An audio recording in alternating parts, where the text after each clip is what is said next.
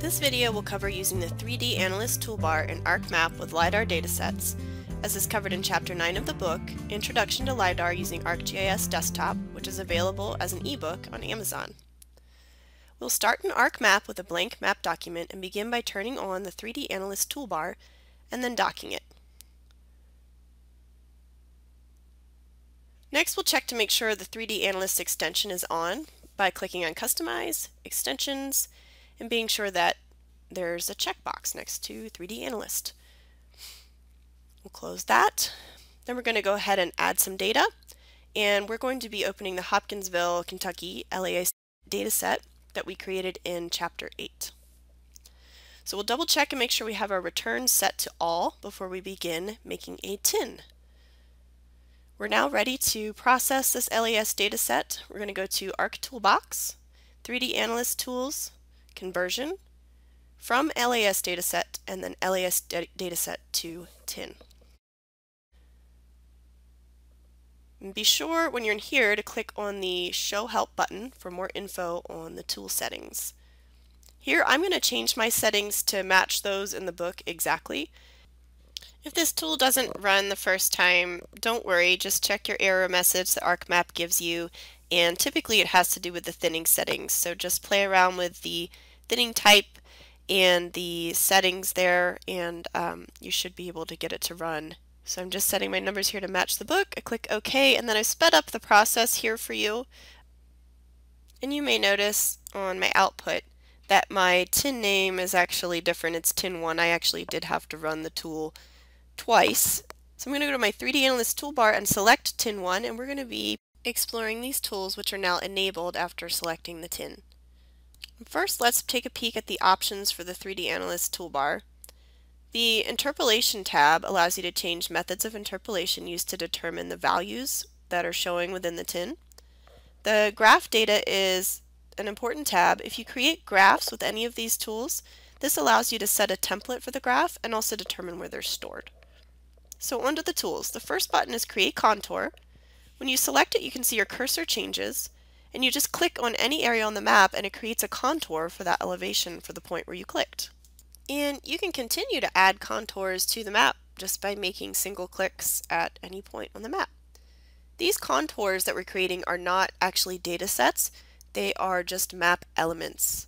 So if we want to delete or alter or even look at the properties of these contours, we need to come up to the Select Elements tool, and then we can click on it, and when you see a sort of cyan box around it, then you can either hit the Delete key to get rid of it, or you can also, using that Select Elements tool, you can double click, and you'll bring up the properties for that element.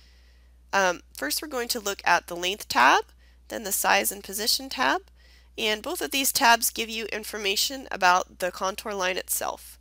You can also change the properties under the, the first tab there, the Symbology tab. Let's move on to our next tool on the toolbar, Create Downhill Path.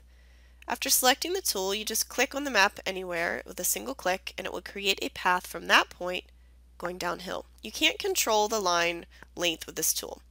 Again, to find out more about it, use your Select Elements tool, double click for properties, and under length, you can actually see the length of the downhill path. In this case, it's in meters.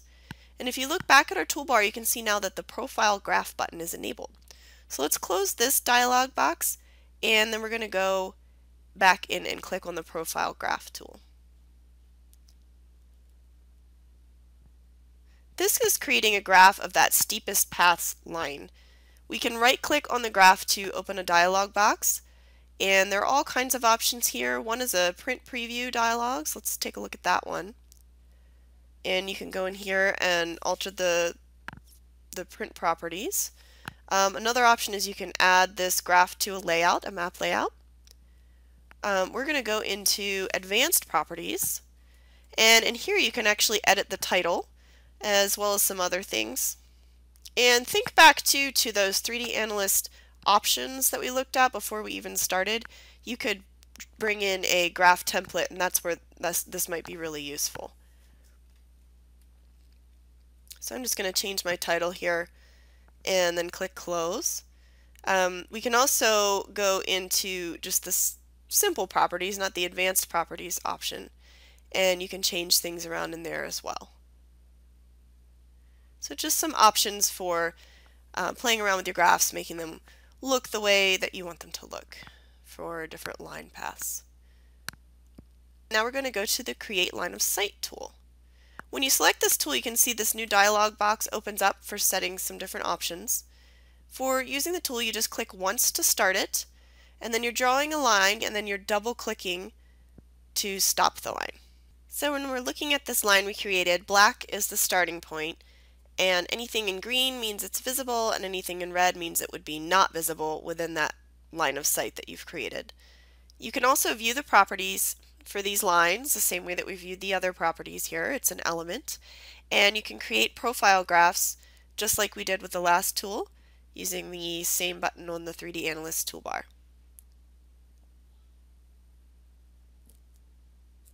So we're going to close out of that. And next we're going to look at the Interpolate Point button. So for this, you're just going to select the tool and then click anywhere on the tin and it's going to create a point with a highlighted box. You can see the point elevation down in the lower left corner of ArcMap. And this is also an element, so again, you can use the Select Elements tool to take a look at its properties. Next, let's use the Interpolate Line tool.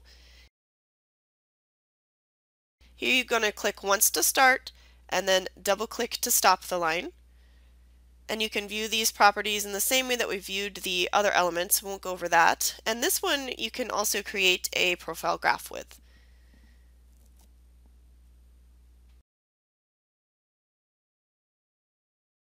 And lastly, let's go to Interpolate Polygon.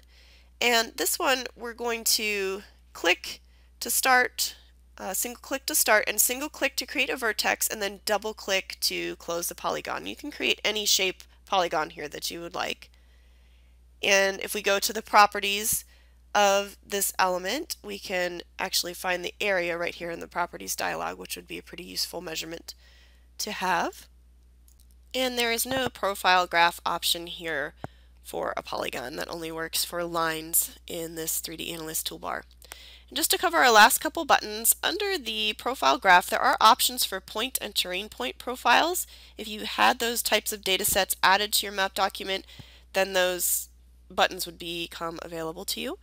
Um, and then we also have one button to launch ArcScene and another one to launch ArcGlobe. Those are the last two buttons on the toolbar. And that's it for Chapter 9. This video was produced by Virginia View, a consortium dedicated to promoting remote sensing outreach, education, and research, with funding from the America View Consortium, in partnership with Virginia Geospatial Extension and GeoTED.